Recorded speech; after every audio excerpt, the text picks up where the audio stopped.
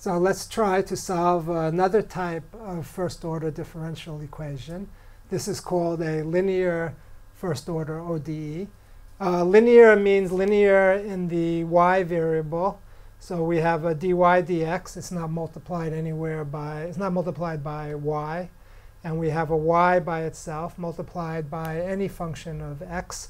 And then we have just a function of x on the right-hand side. So this is the standard form of a linear first order or ODE. Um, it may not be separable, right? If you pull the px times y on the right-hand side, uh, you, don't, uh, you may not be able to factor out the y and separate it. So some first order uh, linear ODEs are separable, but the general one is not. Uh, luckily, there's an analytical method to solve all linear first order ODEs, and that's what I want to um, tell you about today. So the idea is that you take this equation and you multiply it by something that's called an integrating factor. So we multiply by uh, integrating factor.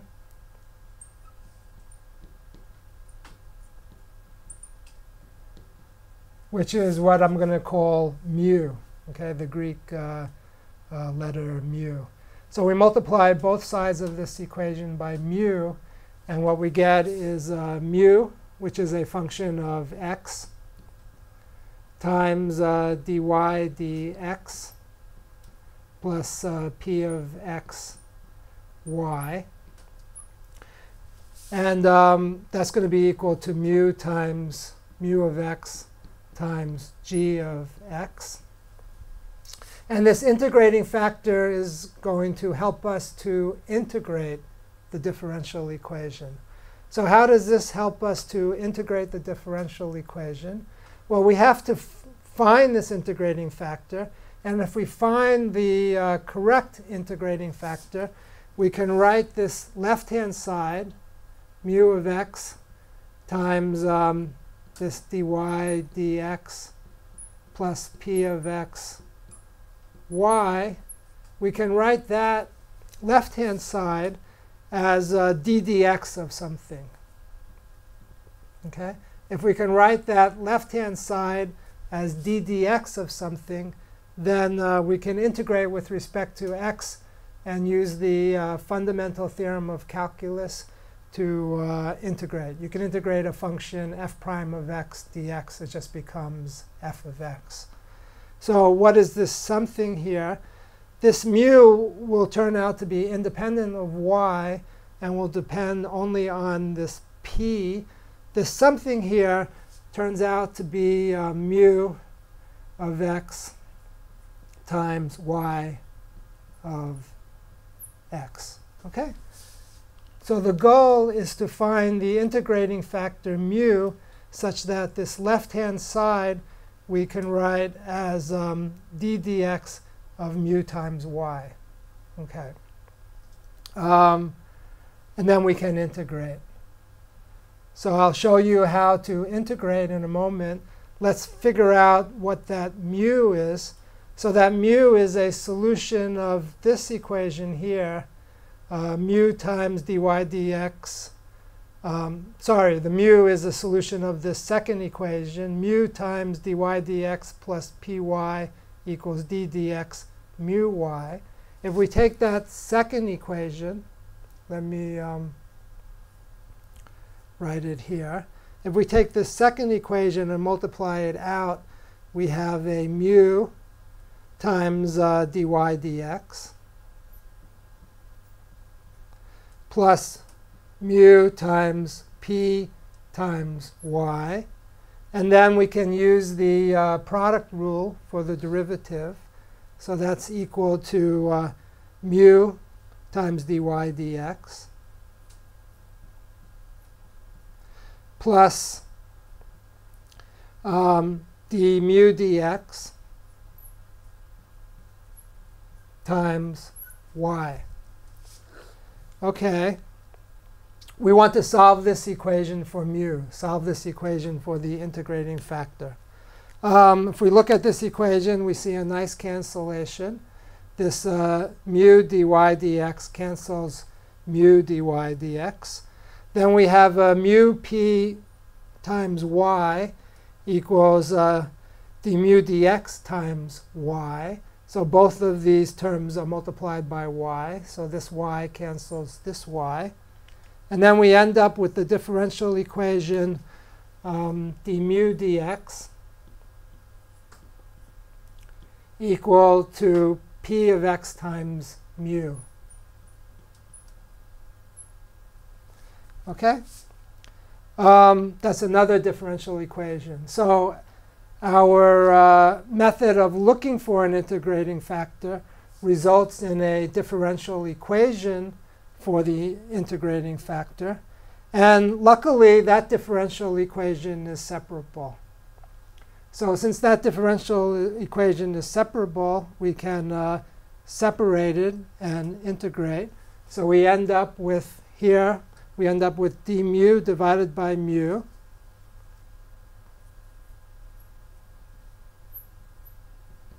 And then we have uh, p of x dx. Okay, so we've separated. Then we can integrate.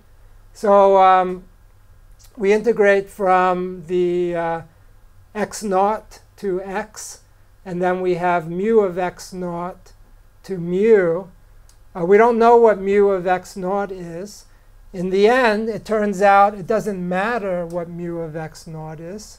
Uh, any value will give the same result. So let's just choose mu of x naught equal to 1. So if we do that and we integrate, we have the integral here then from uh, x naught to x, and the integral here then from mu of x naught, which we choose to be 1, to mu. Uh, the left-hand side is just the log. So it's log mu uh, minus log 1, which is just log mu. Log mu, natural logarithm. And the right-hand side is this integral, x naught to x p of x dx. And then we exponentiate. So we get our integrating factor then is equal to e to the integral from x naught to x p of x dx. Okay. We've determined the integrating factor. This integrating factor, this e to the integral of x naught to x p of x dx, is exactly the function that we need to multiply the differential equation by to convert it to d dx time of uh, mu times y. Okay, so using this integrating factor, then we try to solve the differential equation. So now the differential equation is uh, d dx of mu times y equals mu times uh, g. So that's the left-hand side is d dx of mu times y. The right-hand side is mu times g. Now we integrate this equation. Uh, we use the fundamental theorem of calculus. So the integral of the derivative of a function is just the function. And then we have to evaluate it at the uh, upper and lower limit. So here we're integrating from x naught to x. And uh, so we end up with a uh, uh, x, so we have a mu of x times y minus the value at the lower limit, which is um, uh, mu of x naught times y naught. We chose mu of x naught equal to 1, so that's minus y naught. And what we've done is we've integrated here from x naught to x of mu of x times g of x dx. Okay? So the fact that mu allowed us to write the left-hand side as ddx of something uh, gave us the ability to integrate the differential equation. And then finally, we just need to solve for y. So we solve this equation for y. We add y naught to both sides. we divide through by mu of x, and we get y of x then is equal to 1 over mu of x. And then we have um, y naught plus the integral from x naught to x mu of x g of x dx. And that's the analytical solution to the um, linear first order equation. Okay, so let me um, summarize. It's a little bit complicated uh, first time you see it, but it's actually uh, not all that difficult, but it will look a little bit messy. So let me summarize. You have a first order equation. You always have to put it in standard form because eventually you're basically just applying some formula for integrating a first order equation. So you put it in standard form, dy dx plus uh, some function of x, p of x times y equals some other function of x, which is g of x, together with an initial condition, y of x naught equals y naught. The method of solving a linear first order equation is to have an integrating factor. We multiply the whole equation by mu of x, this unknown function, which is an integrating factor. This integrating a factor allows us to write the left-hand side as d dx times mu times y. And then uh, this one will be equal to mu times g. And then we can integrate that equation to get a solution. So um, we can determine what the integrating factor is.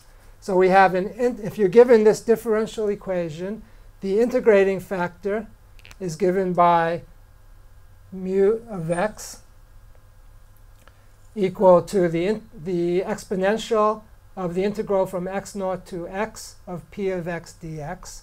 That's the integrating factor. When you solve this differential equation, you find this function, this integrating factor, by doing this integral. Then once you have the integrating factor, then you can integrate the differential equation. And this is then the integration of the differential equation. So y of x is 1 divided by this integrating factor times the initial value of y, y naught, plus the integral from x naught to x of mu of x, the integrating factor, times g of x, the right-hand side of the differential equation, dx. Okay, so these two uh, yellow circled equations is essentially the formula that one remembers uh, to solve this uh, first order linear differential equation. I'm Jeff Chasnov. Thanks for watching, and I'll see you in the next video.